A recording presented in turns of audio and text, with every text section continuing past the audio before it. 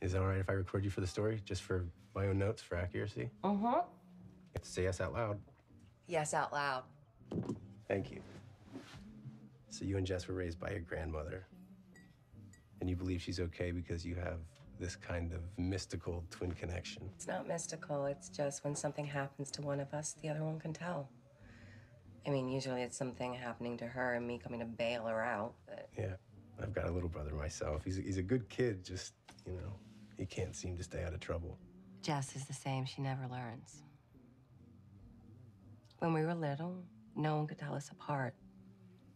It was like we were the same person.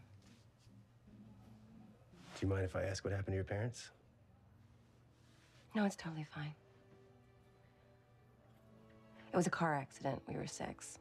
They'd gone to a movie. Grandma was over. She was watching us.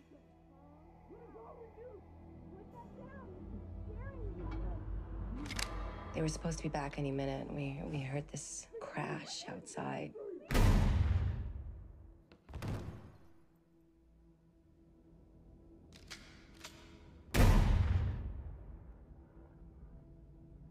Grandma rushed outside. We followed her.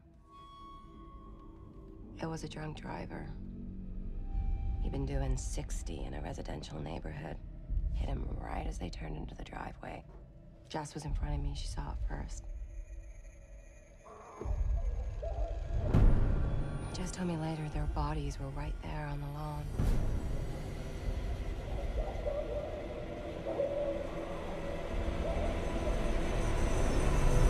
I kept my eyes closed, but she saw it all. Jesus. Did they ever catch the guy? What guy? The the drunk driver? Oh, no. No.